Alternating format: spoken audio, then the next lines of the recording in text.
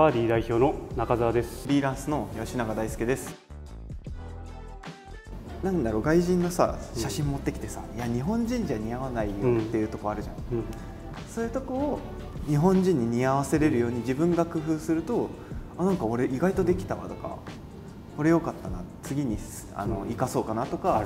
がデザインになるなって思うことが多い。その今自分がやってるものとかにお客様のオーダーが入ってプラスで変化していく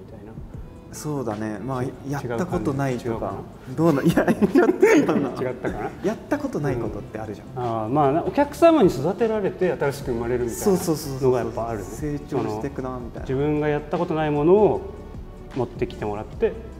それをやをどうクリアするかっていうのに新しく生まれるみたいな。自分一人っていうよりはこうお客様とか、まあ、その仲間とかそうだね。そういうものからやっぱこうプラスで生まれていくものなんじゃないかなっていうのはあるよね。一人だと生まれない気がするな。やっぱ誰かいないと出ない気がする、うん、これはなんかその自分がもうあるやつにプラスしていくのは結構好きなんでその自分が今持ってる例えばこのミルクティーのレシピに変化させていくというかこう違うものを入れてみるだとか薬剤自体を変えてみるっていうなんかこう実験的なものから新しいものを生み出すから全くゼロから生み出すっていうよりは、まあ、今あるものをどう変化させていくかみたいなもので派生させていくみたいな感じでいろんなデザインが生み出してなんかその中からいいものが生まれたりとかするっていう、やってみたら意外と良かったりすると、うんあるね。もうあこれが新しいお客さんのデザインだってなるから、うん。結構感動するんだよね、うん、そうね。嬉しかったりする。しかも前回のさ自分のカットの履歴とかも残ってるからさ。そうそうそうそう。なんか生み出されたりするね。なんかさ今までの蓄積プラスでどんどん変わっていくから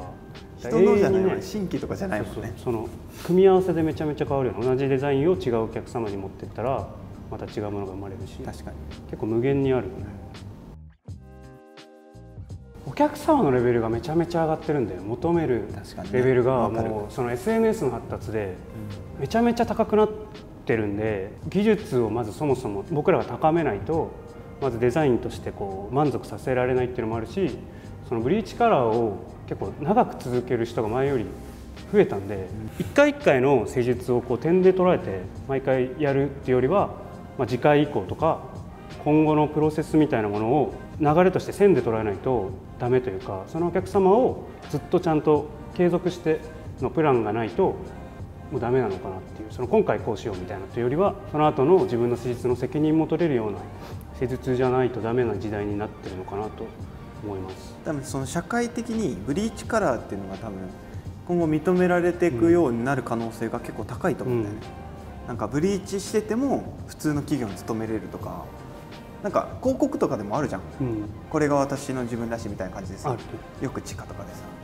でもそれで就活してる人ってほぼいないじゃん、うん。でももしかしたら就活の時にブリーチカラーしてても OK な時代が来るかもしれない、っうん。ていうかそうしていきたいし、うん。だからこの人普通の社会人だけど綺麗なブリーチしてるから OK みたいなのを打ち出していきたいから、求められるっていうわけじゃないかもしれないけどそういうなんか社会に溶け込めるようなブリーチカラーを俺は生み出したいんだよ、えもう社会を変えようとしてる？そうそうそうそう いやいやもう本当にそんぐらい変える側の方に行こうとそう一回お客さんがさなんかブリーチカラーが綺麗でその職場あんまりよあのブリーチカラーあんまり良くなかったのよ本来、うんでもその子が綺麗だから、うん。社長が認めちゃったの。ああすごい。ことがあってめっちゃ嬉しくて、うん。変えたわ。変えたんだ社会をを。変えたわと思って。うんその瞬間って結構さなんか会社のレベルがア,、ップしたっていうのかな。ブリーチカラーが認められたっていうのも気持ちよかったし、その人が例えばカフェに勤めてて9トン以下じゃないとダメとかでも、うん。ブリーチカラーでも OK なんすねみたいな。あの人はベースが綺麗だから OK みたいな、うんあの人は上品だから OK みたいな風になっていけばいいと思うから、うん。そういうのを現代に求めてるうん。求めてるデザインというか、うん。打ち出したいというか。まあ、そうだね。昔だとブリーチはさちょっとそういうなんかまあヤンキーっぽいとか派手な人がやるみたいなイメージがあったけど今は結構普通の、まあ、OL さんとかでもやれるようになってるから日常レベルで溶け込んでるというかだから美容師がき綺麗なものとかをもっと打ち出していけばもっと浸透していくと思うそうそうそうそう。なんかムラがあったりとかじゃなくて、綺麗だからうん。ブリーチカラーっていいよねっていうか黒髪でボサボサよりもブリーチカラーしてる方がいいじゃんうんみたいな、状態にしちゃえば正直いいんだよ。いいようになってくるよねそうそうそうあの人おしゃれだし気使ってるよねってなるから、カラーの教育は僕の中でも完全にテーマが2つあるんですけど1つは再現性。あの、まあ、誰がやってもできるみたいなのを一つ自分がこうオンラインサロンとかやるときに絶対にルール化してて真似できない技術とか僕がこうじゃあこういうふうにやってくださいっていうマニュアルに対してやっぱ100人いたらまあ本当ほとんどの人ができるぐらいのマニュアルじゃないと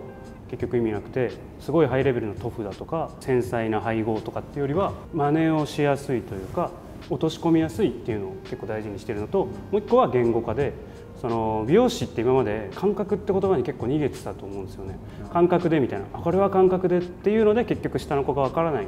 で感覚っていう言葉は、まあ、デザインのデザインだったらあると思うんですけどテクニックにおいての感覚って言葉は多分本質を自分が理解しきれてないから使っちゃう言葉だと思うんですよね。なんで多分こう紙とかを触った時にじゃあダメージレベルがこうだからとか、まあ、残量がこうだからっていう今までの経験からなんとなくこうだろうっていうのを感覚って言ってるんだと思うんですけどそれを少しでも言語化するっていう確実に言葉にしてこうだったらこうっていうのをしっかり作ってそれを誰がやってもできるようにするっていう風な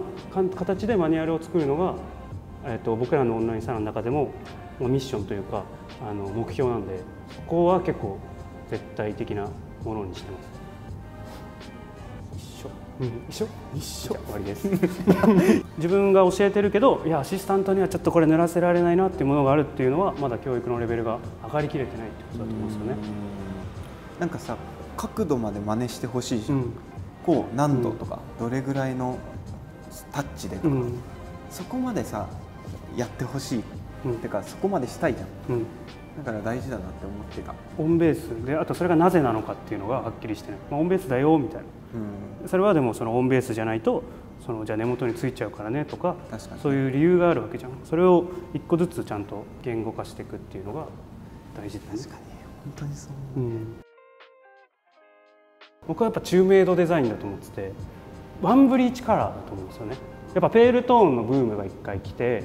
やっぱそういうハイトーン、まあ、抜きっぱなしブロンドとかペールピンクとか出たと思うんですけどやっぱトライできる人って結構少ないんでやっぱその日本のメインの層というかミドルトーンというかワンブリーチぐらいのギリギリの中明度のところを僕はもっと攻めてって今までブリーチしなかった人をブリーチする人に持っていきたいしそういうふうに増えていけば、まあ、その最初に言ったような世の中のそのルール自体が変わっていくみたいなものにつながっていくと思うんでなんかそこなのかなって思います僕は。俺はちょっと全然違うかもしれないけどやっぱ平面的に写真でとかが多かったと思う最近、もっと多分ね 3D というかあの、まあ、美容師でいうレイヤうん。ーだったりとかのデザインがよりそのブリーチカラーのデザインとミックスししていくと思うんだよね。うん今もしてる人はいるけどちょっとクリエイティブ寄りになっちゃったりとか、うん。例えばもうワンパターンになっちゃうじゃん、うん。毛先だけピピッみたいな、うん。よりも、まあ、それが何かわかんないけどでももうちょっと 3D な感じになるの。レイヤーも。でバングとかもさ韓国でさちょっと産毛っぽいバングとか流行ってんじゃん、うん。うのとかってさ結構規格外だったりするじゃん、うん。びっくりみたいな。うん。でもなんかそういうなんかちょっとなんか普通のデザインっていうよりも新しいものがだからレイ俺はレイヤーだと思ったんだけど、うん。レイヤーでメンズだったら結構あるけど立体的なのあんまり女子って最近だとピタンって多いから、もうちょっとね多分ふわってなってくっていうか、ねちょっとざっくりしすぎてる。まあ、でもカットともっと連携していくっていうのはあるんじゃない。そうそうそうそう。の今カラーはカラーでカットはカットであったものを多分カラーとカット両方で完成させるっていうのはなっていくかなと。そうそうそうなんかカラーだけうん特化、カットだけ特化じゃなくてカットとカラー両方でデザインになるから、それはマジで増えてくる。それがどんどん増えてくるし、そこのレベルが上がっていくと思うし、ん。上げていきたいなっていうのは、うん。俺は今後。